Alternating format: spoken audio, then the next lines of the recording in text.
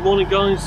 From a very dark and chilly Shrewsbury railway station. It's uh, 6.20 in the AM and I've got up super early today to take this service which is the Avanti West Coast service down to London Euston, the only direct service from Shrewsbury to London.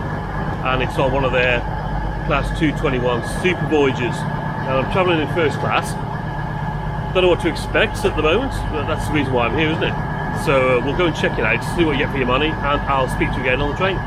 Cheers for now. Yeah, I, t- I tell you what, it was really cold this morning. I'd already walked a mile and a half to get here, but I don't mind that. I'll be sitting down anyway for the next two and a half hours. Now this train normally leaves Shrewsbury at 06.39 in the morning and gets into Euston at 09.12, which is a journey time of 2 hours and 33 minutes. It's a five car class 221 Super Voyager um, at this point anyway and you'll see here we have one first class carriage at the front and then there's standard class behind that uh, including the shop. Uh, we'll be having a look at that area a little bit later on. So I went straight into the first class area which was laid out in the 2-1 configuration you would expect and the first impressions were cosy uh, which is probably what you want on a dark morning like this. About half the seats were available and I chose a rear facing double on the left hand side. A dedicated first class host was in attendance and they immediately asked if I would like a tea, coffee and some juice. This was served promptly in a proper cup and glass too. I have to say this made a great first impression even though I was the only person in the carriage at this point. I was then asked uh, what I would like for breakfast and to my delight there was a full breakfast option on offer or salmon and eggs I think um, now, I could have chose either, but I went for the full breakfast, uh, which, as you can see, was fulsome and tasty. The only thing missing was an egg, uh, I think, but to be honest, this was much more than I was expecting anyway. And yeah, I really enjoyed it. And isn't it nice to get proper stainless steel cutlery as well? I had easily finished breakfast by the time we arrived at Wolverhampton. At this point, there were only three of us in first class. A few more got on here, and it was time for a second cup of tea. Now it's at Wolverhampton where our five car unit couples behind another five car unit to take us all the way down to Euston. Now this effectively doubles the capacity of the train and both units have similar facilities. And first class though remains sparsely populated throughout. So let's have a look at the seats here in first class and as you can see they're quite wide and they have these wraparound type of headrests which I think feel quite luxurious. All seats have tables, uh, though in the airline seats the aisle seats table is hinged, uh, which I think is to allow easy access or egress. And the tables themselves are solid and spacious enough. And note the placemat here, which was for my earlier breakfast. A power is provided by means of conventional 3-pin socket only, so uh, remember to bring a plug. It's located near the floor on the sidewall. Now here's a better look at the seat where you can see the antimacassar in place. There's quite a gap between the seats, and to be honest, it was a bit awkward filming uh, because, uh, as per usual, uh, somebody had chosen to sit right behind me uh, in an otherwise fairly empty carriage, believe it or not. This always happens to me for some reason. Do, do you get the same yourselves? Uh, we have the seat recline levers here and a retractable wide armrest. Uh, legroom is, as you would expect from the size of the tables, plentiful, so even the tallest shouldn't really have an issue with this. Now the seat padding is good. Uh, needs a little bit of a deep clean, I think, in some areas, which are probably a bit more difficult to reach. But overall, I think cleanliness uh, was generally acceptable. Now above the seats you have ample luggage space with integrated personal reading light, uh, digital reservation displays and general lighting, uh, beneath which um, is a singular coat hook. Uh, there are pull down blinds at each window. Now on the window itself was a QR code for the onboard hub uh, which is a recent initiative by Avanti West Coast, uh, enabling all customers to order food, drinks from their seat. Now, I'm not sure how popular this is. Uh, have you tried it? Um, I think personally it's a good idea. I thought I'd try out the Wi-Fi at this point, and yeah, it was decent. loading up social media images pretty quickly, I thought. it's certainly one of the better free on-board Wi-Fi services that I've encountered recently, anyway.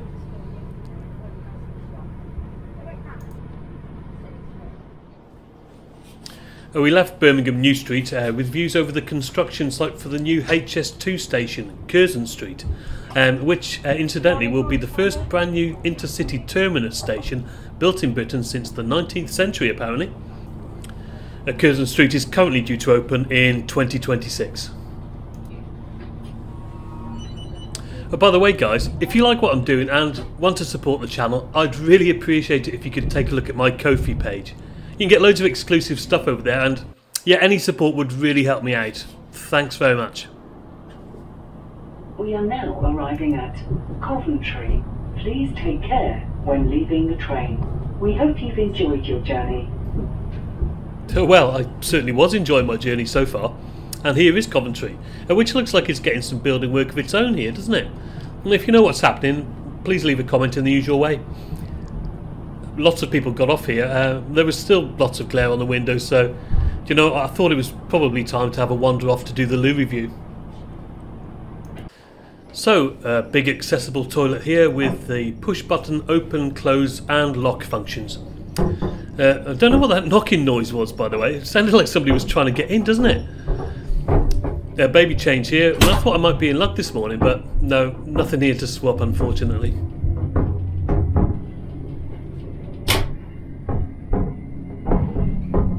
Below that um, and above the toilet is the push button flush. And there's a large mirror here to my right uh, with integrated soap, water and dryer functions.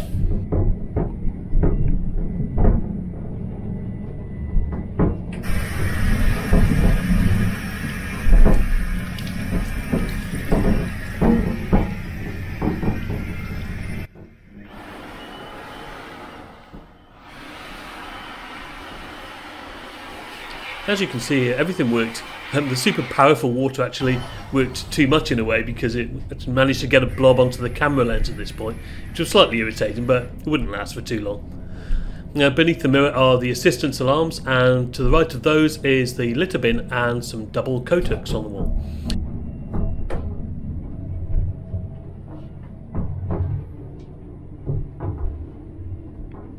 Uh, there is a retractable handle next to the toilet, as you would expect, and yeah, pleased to say that this toilet uh, was generally very clean and it was well maintained. Top marks to Avanti West Coast here.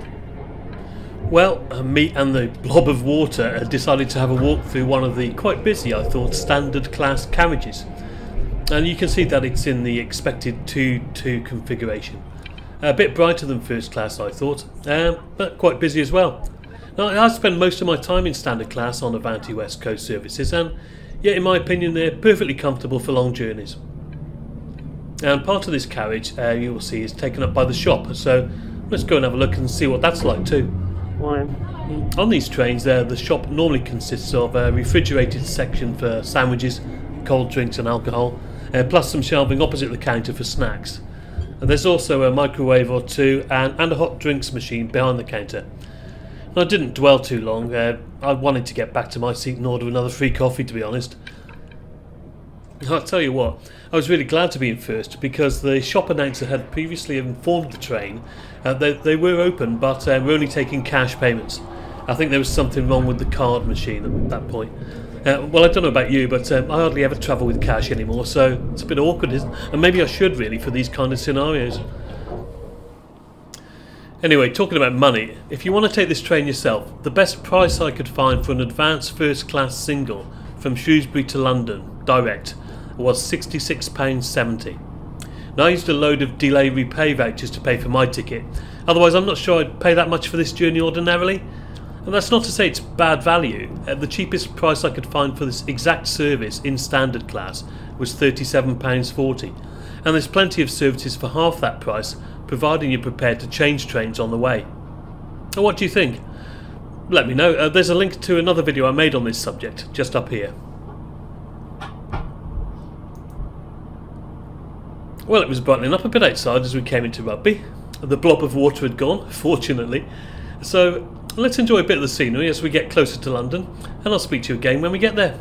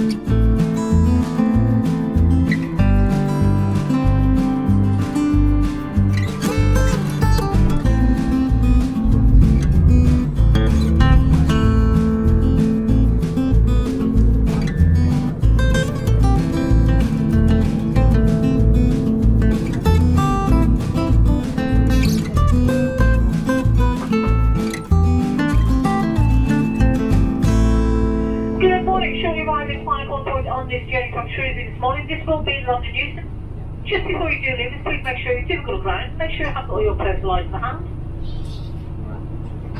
And arrive at London, please take extra care when stepping off the train.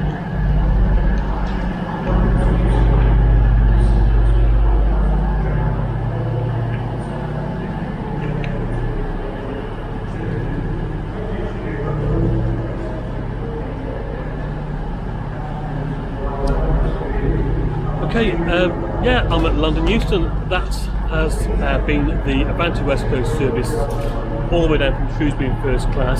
And um, yeah, what did you think? I thought it was pretty good. Now, I've been on three Avanti West Coast services in the last six months or so, and they've been consistently good, uh, which says to me it's a pretty good service, um, and I will continue using that service and the company. So yeah, very pleased with this, and I'm going to head off now to um, my second destination of the day. Hope you can join me for that as well. In the meantime, guys, thanks very much for watching, and cheers for now.